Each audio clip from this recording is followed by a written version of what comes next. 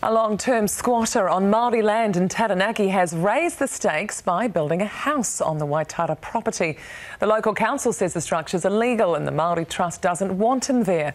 But the former gang member says it's his ancestral land and he's sticking to his guns. Reports. A home with a sprawling deck in a dream location on the beach. But New Plymouth District Council says this Waitara house is illegal. The council here on Māori land have no say I just disregard what they say and just don't take no notice. Kevin Moore, his whānau and friends started building the house less than two months ago without proper consents. It's on Māori land run by the Rohutu Block Trust with around 170 registered owners. Mr Moore's not one of them, but he claims ancestral links and has been squatting on the land for three years. We have the rights we have, um, to do what we want. That's what I believe anyway. Some of those big trusts don't work, they just work for themselves, they don't work for the real people. The former Black Power member was acquitted of murder in 1992 but later jailed for seven years over conspiring to pervert the course of justice in that case. Kevin Moore says his past as a gang member shouldn't be part of the issue, despite claims of intimidation by some in the community. He says he's taking a stand for his family and it's about homelessness. My family, they're struggling out there beyond that gate there to get a house to live in.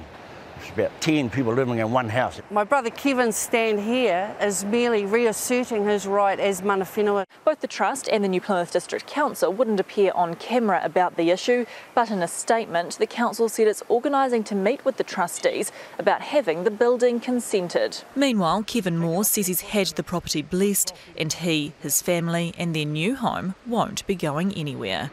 Kevin Moore is digging his heels in, arguing he doesn't need permission because the home is on Māori land. This is Kevin Moore's little slice of heaven. One bedroom overlooking the ocean. It's simple, sturdy, and illegal. I have uh, every right to be here where I am. I am tangata whenua.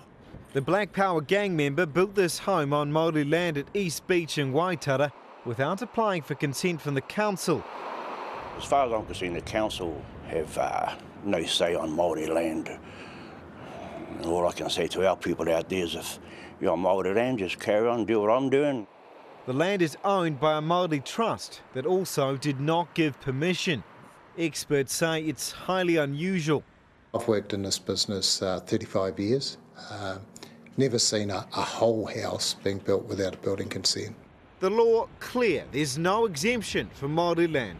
The same rules apply wherever the land is. The New Plymouth District Council refused to appear on camera today, but will now try to inspect the building using a code of assessment, usually reserved for far smaller repairs and extensions. If they can't come to a resolution or the land trustees want it gone, a demolition could be ordered. Moore is unafraid and vowing to continue. I'm just going to keep on doing what I'm doing here and, and keep building. And keep enjoying his little slice of heaven for as long as he can.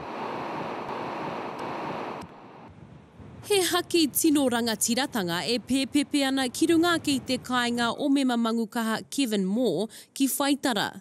He whare whakatū poka noa nāna ki runga whenua Māori, a kaore ia mo te tuohu. I have uh, every right to be here where I am. I'm tangata whenua. I've been guarded by my tūpuna. I'm here, a katiaki, a da whenua. And uh, I have perfect rights to be right here. And what I'm doing, there's nothing wrong. He whakaahua o te tūpuna rangatira o Wiremu Kingi te rangitāke e iriana ki te pātū whare. Engari, aha kua te whakapapa o moa, ko tā te runanga o Rohutu, e hara ia i te uri whai pānga ki e nei whenua. There's 170 so-called uh, uh, owners of the block here, but somehow mysteriously our iwi, our people, we've been scrubbed out.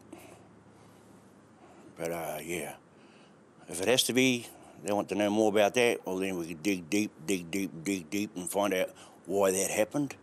E tūtaki ana te kaunihira ārohe o ngā motu ki ngā kaitia ki o te papakainga ki te whakatakoto ara whakamua mo ngā whare, me te whai pepa whakai te kaunihira mo ngā whare hou.